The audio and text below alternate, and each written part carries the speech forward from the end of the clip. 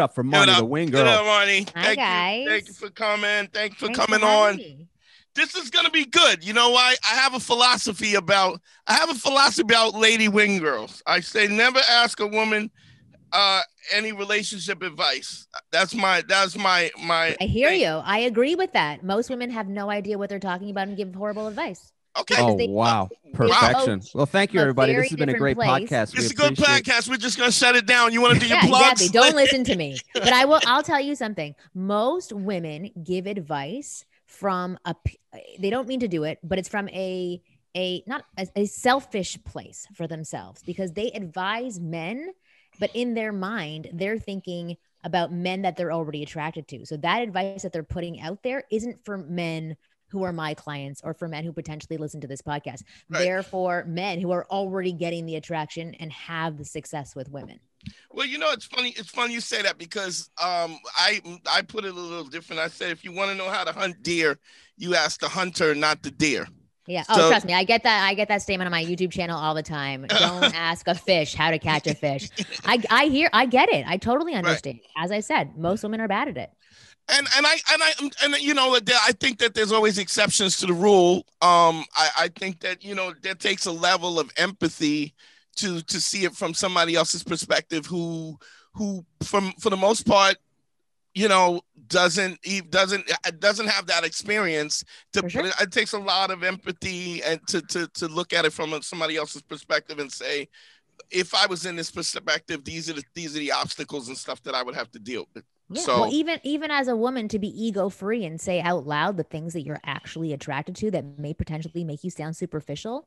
Mhm. Uh, they're not things that women want to be announcing all the time. So that's that's more challenging for women. And on the flip side, it's really difficult to understand men and the position that men that are listening to this show or men that I work with, what they're going through on a day to day basis, because a lot of women have a different perception of men. They think of men who are players, men who are jerks, men who are constantly leaving them or leading them on. So they don't see this whole other side of unbelievable, awesome men who have a little bit lower confidence with women and uh, who don't have the comfort levels to do the things that these other guys do.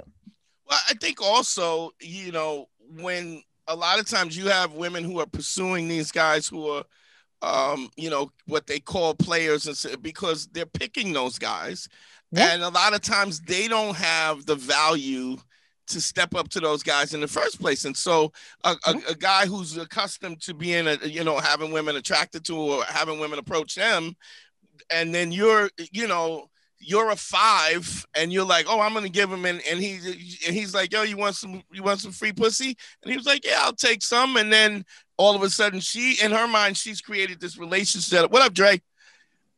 Hi.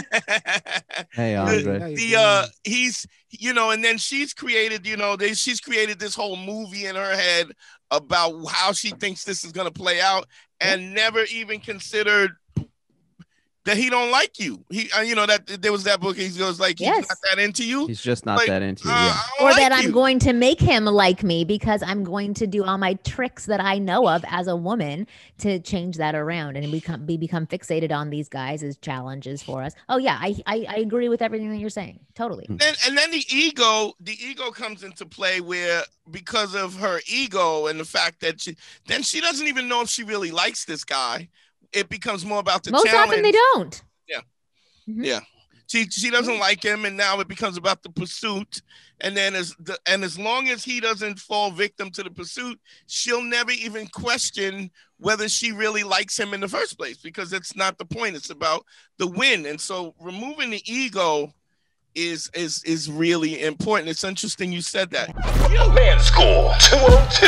Better hear what I've got to say because you won't get it again. I'm not alpha male. I'm not a beta male either. I'm just a better man. Better man. Well, put your happiness first, because if you don't, they won't.